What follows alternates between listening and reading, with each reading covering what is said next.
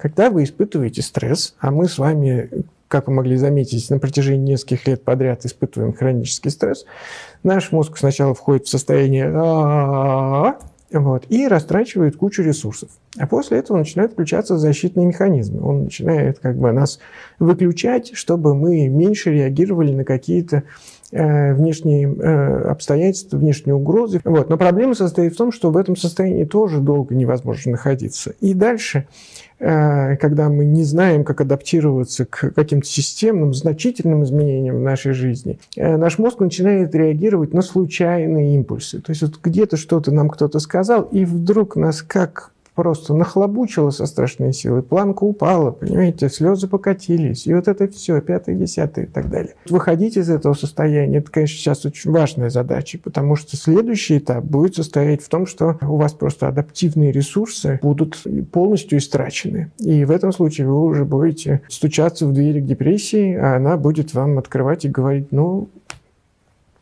ждем-с, давно, заходите. Вот. Только она обычно не улыбается, в отличие от меня.